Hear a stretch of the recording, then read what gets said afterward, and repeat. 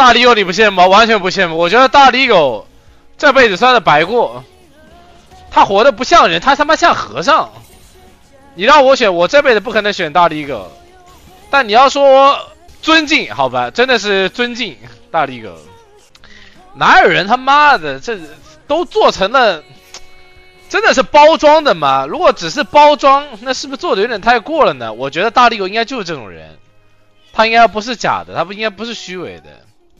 我是不相信有人能伪装的那么好，就把一个真正的国民明星包装成这样，一点没有瑕疵啊。大力狗应该就是这样的一个人，百年难得一遇。哎呀，码头是装的，码头是一定是装的，码头的本性我知道的。码头是一定是装的，码头是一定是装的他妈的不像人样的。码头的本性总有一天会暴露在所有人视野面前的。就码头是怎么样的人呢？就他给大家一种就很温顺，然后很听话，很温顺，就处处都是让着，就让着身边人那种这个这个形象啊，就是假的，你们知道吗？其实他是一个行为很极端。而且他妈的比较叛逆，比较，呃，向来都是我行我素的那种人，你们懂不懂？他并不是大家想着那就那么那么的完美，那么那么的，嗯，温顺。这个是我对他的了解，这个就是一个他迷惑大众的一个最大的一个地点。他给大众的人设就完完全全是假的，是装的。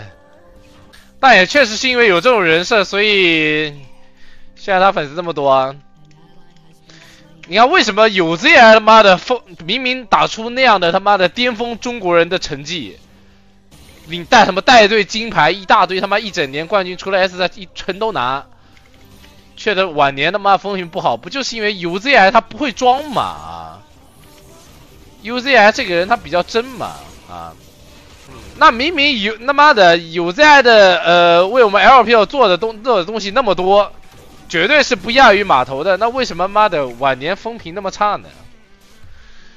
那不就是这么个理吗？UZI 从来不包装，UZI 太真了，没见过这么真实的一个选手，从来不装，他从来不在意外界的流言蜚语。有在只在意呃伤害到他家人的流言蜚语，其他对他的其实他根本就不在乎不在意。你们是他，你们就知道了。虽然我不是他，但是我是能完全看得出来，他真不在意。J.K. Love，操，J.K. Love 也是挺那个的。说实话，J.K. Love 是怎么说呢？网红也挺真的，网红确实挺性情的，反正都比马脸真。